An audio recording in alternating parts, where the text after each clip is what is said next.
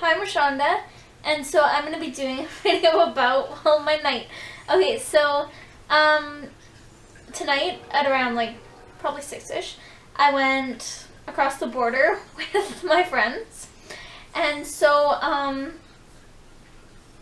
when we went through, I guess some of their alarms or whatever were going off, like a detective radiation or something. So us and like three other cars had to pull over and um, sit in their little office thing. And I guess they shut down the border because no other cars were going through. And it would have been so much work if they brought in a bunch of other people too. So I guess they made them just wait. So they took like all of our car keys, everyone's car keys and stuff. And they brought like this big machine and like waved it in front of all of to de- and to detect if anyone had like radiation on them or anything. And they drove the cars through these big machine things. So that's why they took our keys. And we are joking that they were stealing our cars. and also, um, we're joking that it was because, um, my one friend, he's brown, because I have the last name Mohammed, so they were scared to let us through the border and stuff. But um, yeah, it was kind of weird. I didn't even know they had like radiation detectors. Really, I never thought about it.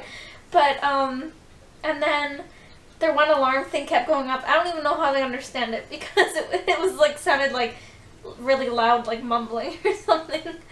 But um, yeah, it was kind of funny. And so we were there for a while while they were checking things out. And the one um, guy who lets people through, he was joking. He's like, because we were the last three there after, because they were taking, at the end, when they found out pretty much none of us had any radiation, they were letting the people go in their cars and then drive through the big machine one more time.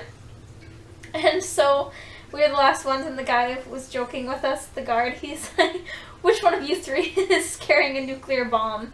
So, yeah, no nuclear bomb, though. So, yeah, it was interesting. So, it's not a good time to go through the border.